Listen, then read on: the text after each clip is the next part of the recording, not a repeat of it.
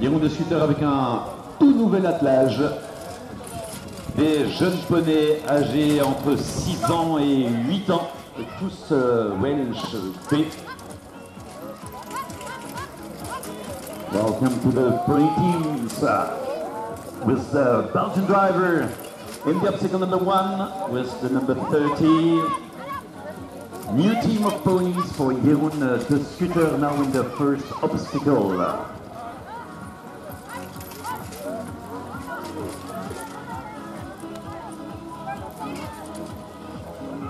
Just passing the finish line, Jeroen de scooter, 47 seconds.